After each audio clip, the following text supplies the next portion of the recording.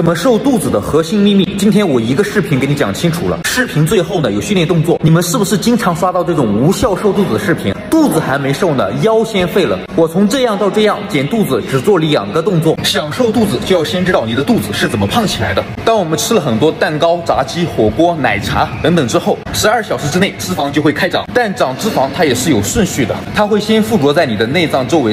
这就是为啥最容易胖的是肚子。内脏脂肪长到一定比例，才能往胳膊、腿上长。这些脂肪叫做皮下脂肪。当你吃吃的越多，内脏脂肪越来越多，所以肚子就凸出来了。仔细听，干货来了。我们的腹部结构是这样的：最底层有一层像腰带一样环绕着的东西，叫做腹横肌，负责保护我们的内脏，收紧腰围。腹横肌外面覆盖着腹直肌，也就是八块腹肌、马甲线。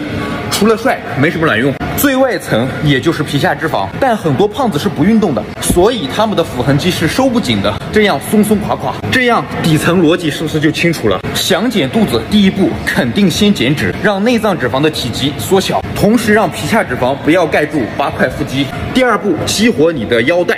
让它收得更紧，腰围更小。第三步才是锻炼腹直肌，没有卵用的八块腹肌和马甲线。那如何减脂呢？只要你坚决不吃这三类食物，一个月至少瘦十斤以上。那怎么激活腹横肌呢？一，按着腹部吸气三秒；二，小口吐气七秒。三快没气的时候咳嗽三声，这样操作，如果小肚子硬的话，就是腹横肌已经激活。想瘦腰，每天早上空腹做五组，最后才是练腹直肌，也就是八块腹肌、马甲线，没有那些乱七八糟、花里胡哨的动作。做这两个刻画腹肌还不粗腰的动作，每个动作做五组，每组十五到二十次。没听懂的，下载后慢慢捋。